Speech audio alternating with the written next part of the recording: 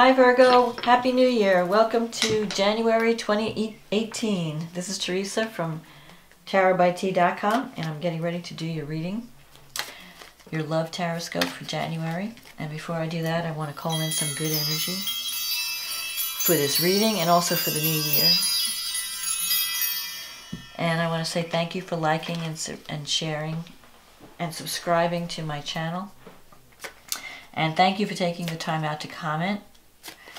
I really appreciate all those comments and I read all of them. And also thank you for um, for those of you who have ordered readings. If you want a reading, just go to tarotbyt.com. The link is in the description. And we can get you on the schedule. So let's see what's happening for Virgo for the month of January. We have a full moon in Cancer on the 1st a new moon in Capricorn on the 16th, and then a second full moon that's also an eclipse on the 31st. And that's in Leo, um, which will be in your 12th house. So let's see what the cards are saying for Virgo. What does Virgo need to know about love and relationships? What does Virgo need to know about love and relationships for the month of January?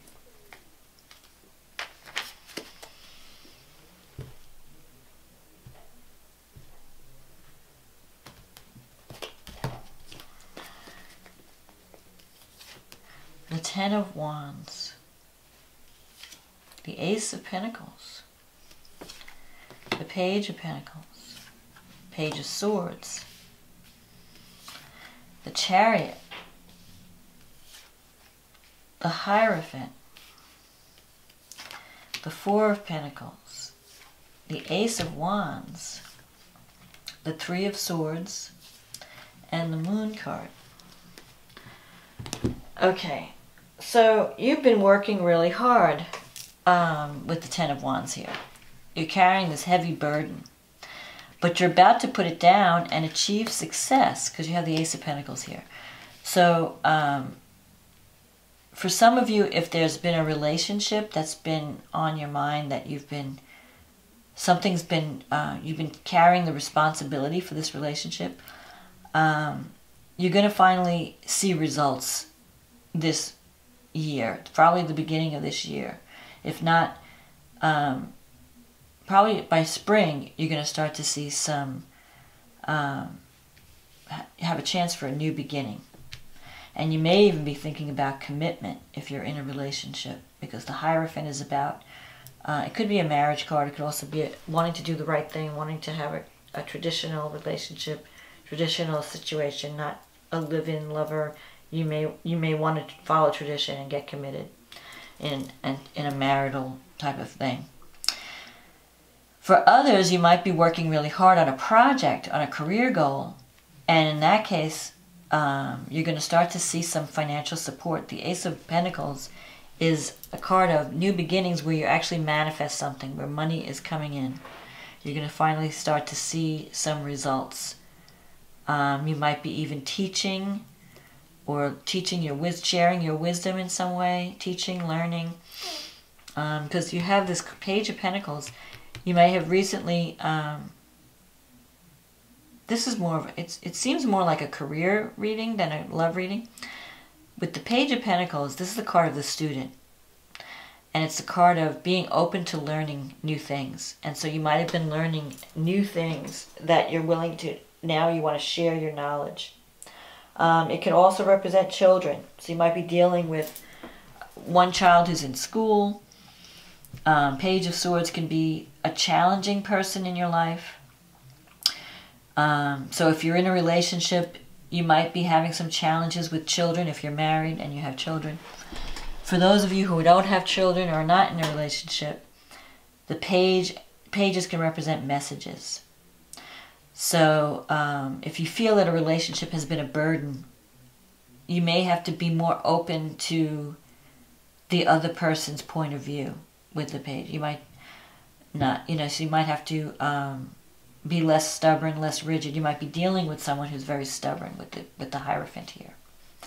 The Page of Swords, this is a card of spying, gossip, um, communication, having a difficult conversation. You might have to have some difficult conversations, or you might have recently had, um, to talk to someone with about something that's been bothering you.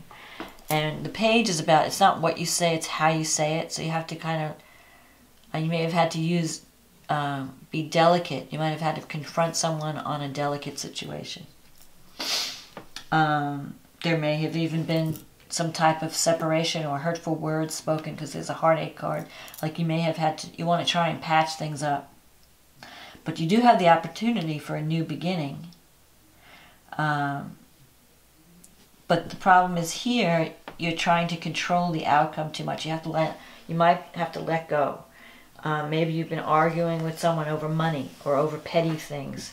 This is a card of holding on too tightly or not willing to give, like, this is a card of you have to give to receive. Like you might be waiting for someone to give to you, waiting for someone to do things for you, but you're not doing, you're not initiating anything. Um, you're just waiting for someone else. So this is a card of let go. Don't play that. Um, well, if I didn't, I'm not calling. They have to call me, or you know that kind of game. If you feel like talking to someone, you call them. If you feel like seeing someone, you go over and see them. If you want to do something for somebody, you do it. Don't let the giving have strings attached. That's what this card's about. Um, or you could be dealing with someone who's a little stingy. Uh, that with the purse strings, like maybe you want to do things and you need money and you need financial support, and they're kind of holding the purse strings and they're saying, no, we don't have the money for this, or you may not want to spend the money on certain things, and that can cause some tension in a relationship. The chariot coming up here, um, this is a card of scattered energy. Um, you might have been um, going in a lot of different directions and you're trying to achieve a goal, this is a card of victory through focus and discipline. So you want to achieve something stable and secure, but you're going to have to focus on what's really important and leave all the petty, uh, leave all the other things that are not that critical um, by the wayside. Just choose a couple of things that you can really focus your energy on because you're taking on too much with this Ten of Wands. It's like you've been taking on too much trying to do too much. Maybe you've got so many irons in the fire trying to get money from different sources and you're not really making progress because you're, you're scattered. So you have to kind of focus um, and learn what you need to cut because this Three of Swords can sometimes mean cutting away what's no longer working. So you need to cut out the things that are not um, benefiting you or not showing profit or not showing um, promise. And that could be relationships, it could be projects that you're working on, career, friendships. Um, cut away whatever is non essential and just focus on the essential. You know, where do I want to go? How do I get there? Let me just focus on these one or two things that are really important and leave everything else because you can't do it all. You're going to burn out with the Ten of Wands. Um, so you've learned some things and you have wisdom to share. This is a card of sharing your wisdom. This is a card of spirituality. Um, it's the high priest. It, it represents the pope um, of ancient times, you know, where you you have spiritual teachings that you want to share with the world. And maybe even um, with the moon card here, you have intuitive abilities or you have, um, so you might be um, wanting to share your knowledge in a, in a way and follow your intuition. The only thing with the with the moon card is you may not be reading a situation properly. The moon card there's confusion, there's there's kind of like you're not seeing all the facts. You're not seeing you're trying to make a decision with having partial information. So you may be um, overly um, letting imagination see things in a negative light and they're not really that way, or you might be over glamorizing something where you're seeing something in a very positive way. So you have to kind of find that balance. Don't go to extremes of either positive or negative thinking. Uh, just be find more of a realistic path, and um, that's because the moon. Um, you might be questioning someone's loyalty. Are they deceiving me? Can I trust them? Um, and it might be just your imagination. Maybe you're afraid of being hurt with the Three of Swords. Maybe they might have hurt you in the past and you're worried about being hurt again.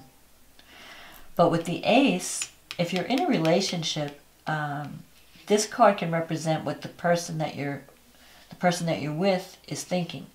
And it looks like they want to have a new beginning. They're focused on some new thing um, and they're excited about it. So um, you're somehow you're doubting that this new beginning has potential. Um, but you do have these two aces here, so I feel like there's a there's potential for new starts and for success, both in career and relationships. You just have to let go of your sorrow, let go of your your hurt, um, and maybe you know it may even mean that you have to someone needs to apologize or you have to apologize. Words need to be you know spoken. Difficult conversations need to be had, and don't try to control the outcome. Just kind of go with the flow. This is a card of um, if you're not receiving what you think you need, be it's like be the person that you want that you're trying to attract. So if you want love, you have to give love. If you want friendship, you have to give friendship. So whatever you're wanting in the world, you have to put that energy out there. That's what this card's about. Um, and then you will see results with this Ace of Pentacles, with these two aces. You're going to see results. Um, follow your intuition but don't let your imagination go too crazy because you are you might be just um, blowing things out of proportion with the moon. So let's look at the astrology, what's happening. Um, you have a full moon in Cancer, and that's that's cutting across your 11th and 5th house axis. So there could be some culmination happening with a friendship, within a friendship, with children, um, maybe you feel like, um, on the one hand, you're feeling very emotional. Um, there's a dream that you really want, or there's some kind of goal that you really want, or friendships that, that are really important to you, children that are really important to you. And maybe you're feeling that they're not um, giving you what you need. There's a coldness because there's Saturn and Venus and Pluto all in your fifth house. So you're feeling like that there's too much work, I can't have any fun or my children uh, there's something going on i have to be serious i have to be, like you're not feeling the love coming from your children um, there might be power struggles with pluto there. Um, so you have to kind of let go. Don't try to control them. Don't try to manipulate them. Just let them be. Let them let them alone. It's kind of like leave it alone and if it comes back um, now you do have mars and jupiter going through your third house and neptune in your seventh. With Neptune in the seventh, you could be idealizing a relationship, but Neptune can give you a soulmate, but it could also bring, make you be the, um, kind of like the martyr in a relationship. You want to take care of someone um, where, where you're like taking care of someone who's going through a rough time. so you just want to make sure that you're seeing the reality of any partnerships you form in uh, in January. And Jupiter and Mars, Jupiter is expanding your neighbor. You might really want to get out and um, get out into the neighborhood because the third house is the house of communication. You may feel like speaking your mind more. You have Mars there, so you might be a little bit more argumentative. So you want to tone down um, your words. Don't be so uh, if it's okay to communicate your, what you need to communicate, but with Jupiter and Mars together, you might be over the top in your delivery. So you want to just don't sound like you're attacking someone when you're communicating. You want to be calmer. Um, that's kind of what the energy of Mars and Jupiter in the third. Um, on the other hand, it's a good time to do a lot of research and reading and learn uh, and maybe even writing that might be a way of getting out whatever's you know bottling up inside of you without like so if you have a conflict with someone write a letter but don't mail it you know get all your angst out in a letter um, but when you talk to them try to be calm don't be so forceful um, the new moon will fall in your fifth house so you can have a new beginning in the middle of january where um, you kind of reestablish boundary, by, uh, you reestablish bonds with your children. Uh, if you have children, you can cement that relationship because there's a lot of Capricorn energy going through that fifth house. Um, and Venus is in the fifth house. On, and it's connected to the moon. um, so you could have a really nice time with one of your children at that time. Um, and you feel like you know the relationship is getting more stable and in the middle of the month. Um, the other way that that could play out is that you could decide to do some creative work. Venus has to do with art and creativity. Maybe you just need to um, deal with your emotions by doing something creative, honoring your inner child, doing something fun. Maybe you've been all work and no play lately and you need to have some fun. Um,